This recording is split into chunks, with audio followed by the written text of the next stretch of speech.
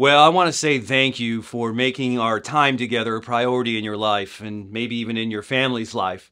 You know, I want to also say that with Easter coming up, people are still open to exploring and will respond to an invitation. So please use this as an opportunity. Uh, I'm challenging myself as well with this.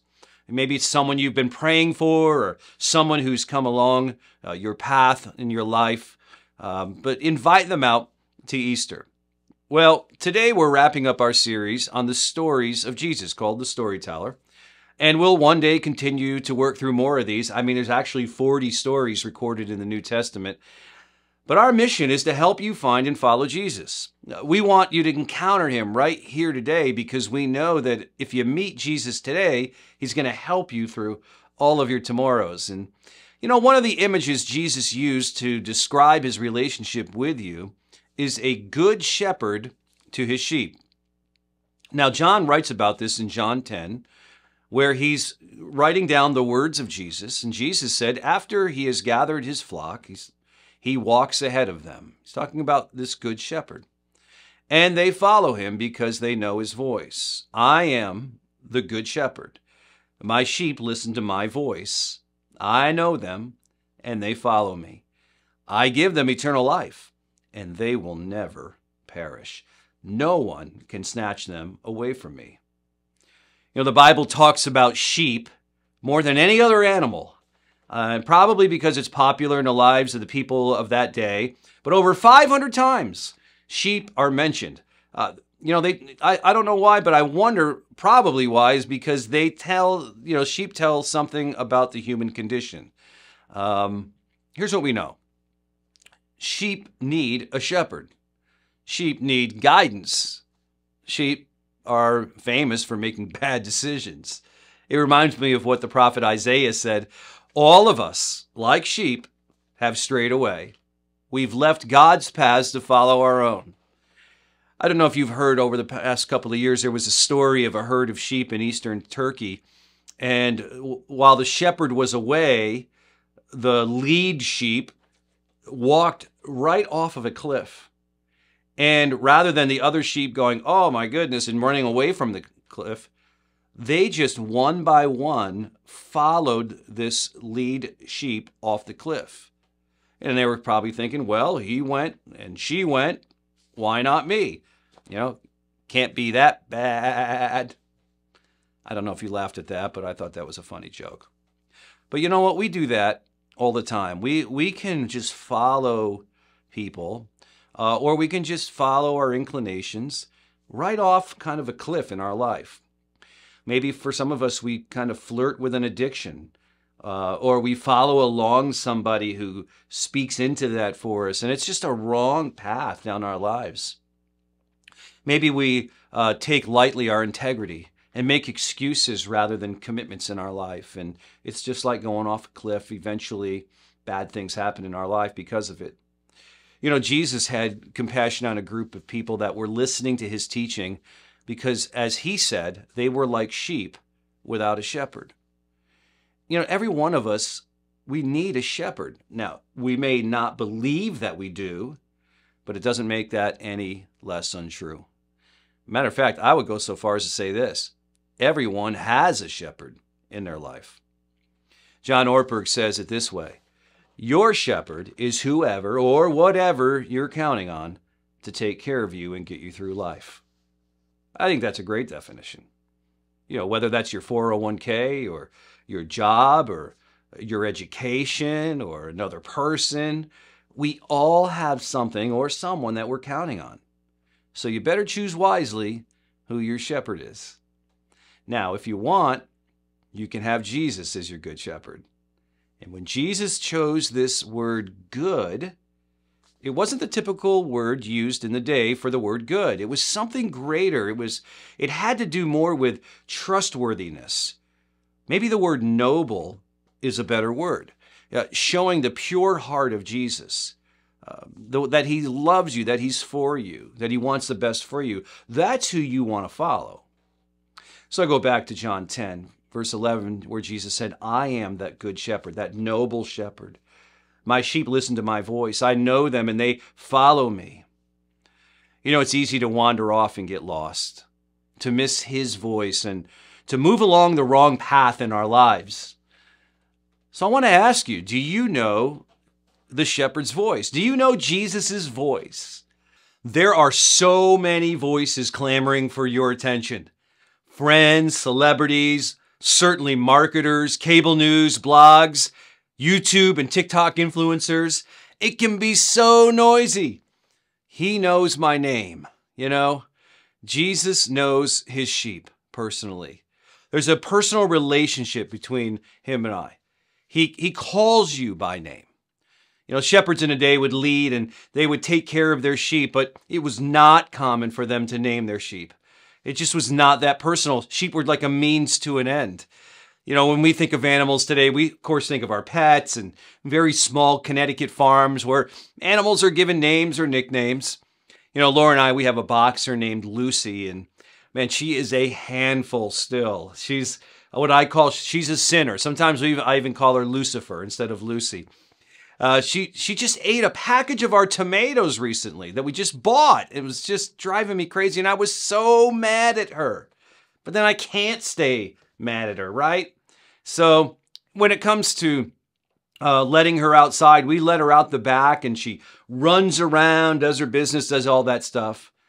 And once in a while, I'll look outside, and I don't see her because she's wandered away a little bit. And I'll look around, I still can't see her. So finally, I'll call her name. And out of nowhere, it seems like, she appears. And she bounds back to the house because she knows my voice and I know her name. You know, we're celebrating Easter next week, and the first person at the tomb on that very first Easter morning was Mary Magdalene. And she was the first one to find that that tomb was empty. And John records this. He says, She turned to leave and saw someone standing there. It was Jesus, he writes, but she didn't recognize him. Dear woman, why are you crying? Jesus asked her. Who are you looking for? Well, she thought it was the gardener. Sir, she said, if you have taken him away, tell me where you've put him, and I'll go get him. And then I love this next statement Mary. Jesus said. He just called her by her name. And Mary instantly recognizes him. Why? Because it's personal. They've known each other. It was such a powerful moment that's recorded there. When you hear Jesus call your name, you know it's him. You know, Jesus did this with others after the resurrection. He was just very personal. He made breakfast for Peter to restore the broken relationship that they had. He gave special attention to Thomas with his doubts, speaking with him and having this personal moment. You know, he walks beside you. He, he Jesus comforts you. It's important that we make it a priority to recognize him, you know, not just on Holy Week or Easter, but in every day of our lives because proximity matters. You know, in order to hear something, you have to be in earshot. So, of course, this question is so important for us. How close are you with the shepherd today? I mean, are you engaging with him on a regular basis? Or are you anticipating God's presence in your own life? Or is he merely an afterthought? Do you talk to him before, uh, in the morning, before you pick up your phone, even? Do you say, Good morning, God? I'm so glad for the gift of today.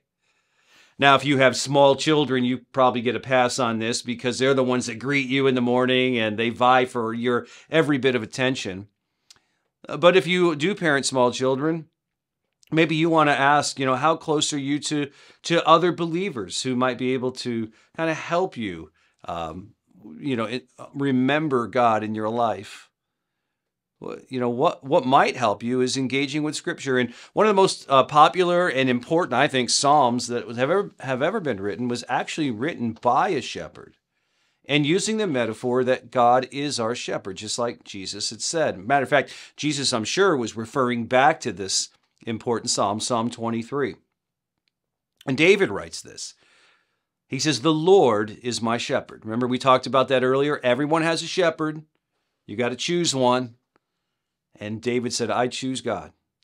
The Lord is my shepherd. I have all that I need.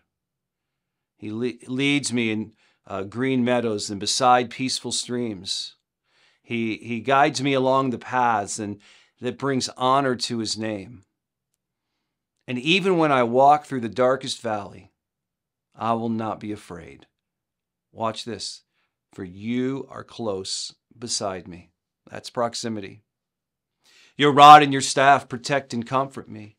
You prepare a feast for me in the presence of my enemies. Isn't that true? Life is difficult. There's hardships. Uh, people can be enemies, but also our health can sometimes be an enemy. Uh, the economy can be an enemy at times to us. And he goes, you're, you're preparing this feast for me in the presence of my enemies, the hardships of life. You honor me by anointing my head with oil. My cup overflows with blessings. David is saying, I'm recognizing your blessings even in the hardships. Surely your goodness and your unfailing love will pursue me all the days of my life. That's proximity. He's chasing. And I will live in the house of the Lord forever. And of course, that is beautiful proximity. So just let this psalm wash over your soul. And maybe, maybe even commit it to memory. You know, work through this psalm and remember how God is your shepherd. You know, the good shepherd, as Jesus called himself, the noble shepherd of pure heart. Another thing he does is he gives his life for the sheep. John 10, 11 and following verses, Jesus says, I am the good shepherd. And the good shepherd sacrifices his life for the sheep. I am the good shepherd. I know my sheep and they know me. And just as my father knows me and I know the father, there is that connection, that closeness. So I sacrifice my life for the sheep. No one can take my life from me. I sacrifice it voluntarily. Now, if you're viewing this um, video, you know, at the time that it's been launched, which is just before Good Friday, this Friday is Good Friday. And it's a time where we remember the tremendous sacrifice of Jesus for you and for me. And I want to invite you, if you live in the area here, to come out to our Good Friday at 6:30 p.m. We'll be worshiping Jesus. We'll be remembering his sacrifice through communion. We'll be hearing stories of transformation. I want to urge you to be here. It's so important for us to remember that he willingly died so that we can have life. I mean, we get it so wrong so many times, don't we? Things happen in our life and we think, oh, God does not care about me. He's not paying attention to my life. I, I don't think I matter to him at all. And nothing could be further from the truth. Just like the best of shepherds, he gave his life for us. No one overpowered him and took his life. He voluntarily gave it so that we could experience abundant life with him. You know, there's so many things out there that will promise to shepherd you, but none of them is going to voluntarily lay down their lives for you. Only Jesus does that. You know, the Good Shepherd is calling for you. Maybe you can hear his voice. They follow him because they know his voice. You know, if you've wandered away from Jesus, I want to encourage you to come back and stay, be close to him. You know, Jesus wants to lead you, as we read in Psalm 23. He wants to guide you through your life. And yes, bad things will still happen, but You'll never be alone. And you'll have His strength to rely upon. You'll have more insight and wisdom and depth to your life because of Him. And He gives us life, even eternal life. And He'll redeem even the toughest moments of your life. And He will never give up on you. You know, there's an image that's becoming more popular these days in the Christian world and it comes from another story that Jesus told about a shepherd who left the 99 sheep to pursue the one that had wandered away. So I want to show you this picture right now. And I want to ask you, what does this image invoke in you? Maybe you see the lamb that's right close in the front of the picture and it's kind of a mess. It's gone through some stuff you can see. And maybe you see yourself in that in that sheep. Maybe your own stubbornness or your own brokenness. Or maybe you see off in the distance the shepherd running and pursuing, and you see the love of Jesus, his grace, as David wrote, his mercy that's pursuing us, his goodness that's pursuing us every day of our lives, even though we are so prone to wander. And I hope that from this you'll let God forgive you and redeem your life. Old things will be passed away and everything will be fresh and new. If you've never done this before in your life, I want you to invite Him to be your forgiver and the leader of your life. You know, this doesn't have to stop with you either. You know, you can tell your friends and your family of this. Who are maybe some friends or family who need to hear this message just like you do and just like we all do? Maybe with Easter approaching, there's some that you could bring with you to hear this message. Who will you bring with you? Who will you tell the difference that Jesus has made in your life? It's it's not too late, it's never too late. And so I hope that you'll pursue him as he pursues you. Well, let me pray for you today. Our heavenly Father, God, we thank you so much that you are the good shepherd that you are noble, that you are trustworthy, that you love us with an unfailing love, a love that will never stop. And God, forgive us for the, our proneness to wander, to wander away from you. And we do it at our own peril, many times not even knowing or understanding the trouble we're getting into. Yet you are close beside us. We matter to you and you're always there calling our name. So I pray that today would be a day where we would lean into that, to remember the personalness of our relationship with you, and that we would embrace that and walk with you each day of our lives as you guide us and direct us and comfort us. Lord, whatever it may be, we want to follow you today. In Jesus' name, amen.